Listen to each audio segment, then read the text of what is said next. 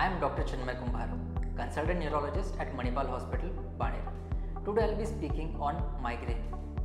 Headache is a very common disorder in today's population and migraine is the most common cause of headache. Not all headaches are migraine and hence it is very important to differentiate migraine headache from other very serious types of headaches. How is the headache in migraine? The headache in migraine is typically unilateral, that is, it is present on only one side of the head, but in rare cases, it can be present on both sides of the head.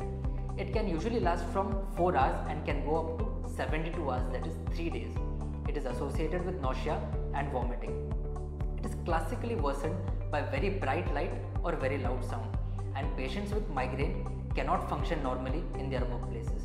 There are some associated symptoms of migraine which are present apart from the headache these are excessive yawning, excessive urination, excessive sleepiness, irritability, depression, and fatigue.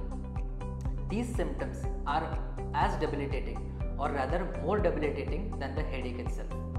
The next important point is trigger. What is a trigger?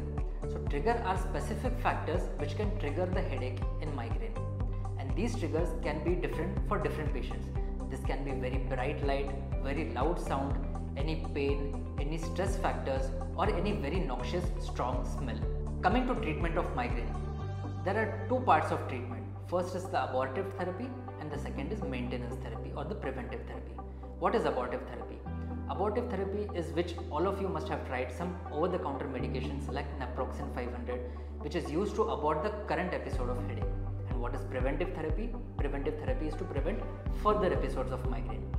The need of preventive therapy and the drug of choice in preventive therapy will be decided by your neurologist. As we all know, prevention is always better than cure. Migraine is supposed to be a lifestyle related disease and hence healthy lifestyle modification is the only way to prevent migraine. Avoiding triggers is the first and foremost thing. These triggers can be different for different people and hence these triggers are to be avoided to prevent migraine. The next thing is a good continuous 8 hour sleep throughout the night is necessary. Good hydration of around 1.5 to 2 liters of water a day is very necessary to prevent migraine. And lastly, reducing the screen time. But this is not possible in today's age. So at least an alternative is to use a blue light cutting glasses which can help in reducing the frequency of migraine. If all the above precautions are followed and treatment is followed, migraine can be cured completely.